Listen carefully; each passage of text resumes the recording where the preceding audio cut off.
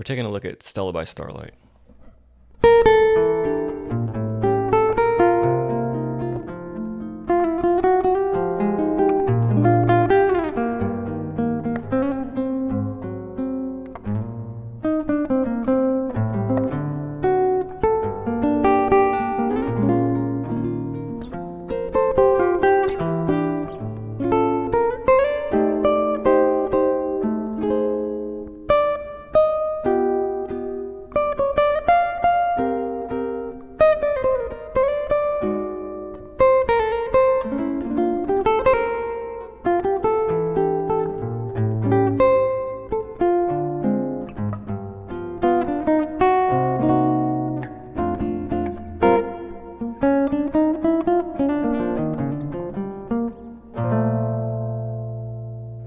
So I'm in the key of B flat, but it starts with these two chords E minor 7, flat 5, A7, sharp 5, which are deceptive.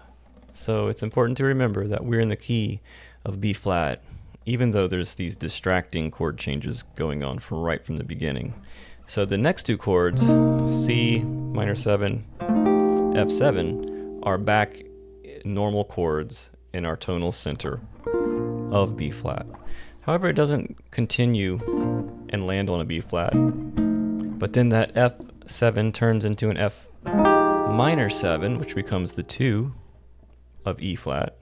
And then we play the 5 of E flat, which is the B flat 7. And we do go to E flat. And then we hit a, a bluesy A flat 7, okay? So then we hit back to the tonic. And we're, we're moving from the tonic B flat down to the relative minor of G minor. And then we just do an arbitrary 2 5, which is B flat minor 7 to an E flat 7, kind of arbitrary out of the blue. And then we slide on into the key of F temporarily for the first time in the tune. And then the F does the same thing as we did earlier with the, the key of G minor, and it leads us down towards D minor, but this time minor 7 flat 5 to a D flat 9 type of thing. And then we're going to hang out with G 7 augmented for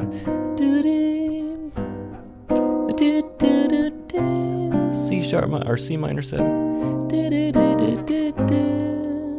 There's that familiar A flat 7, flat 5 again. And we're to come back and rest back at B flat. And then we're not done. We're to do the opening theme again. But this time, D minor 7 flat 5 to G7 augmented.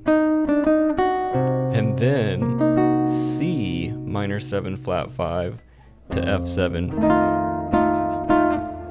Finally, we end on B flat major 7, which is our tonic. Hope you enjoyed that walkthrough of one of my favorite tunes, uh, Stella by Starlight.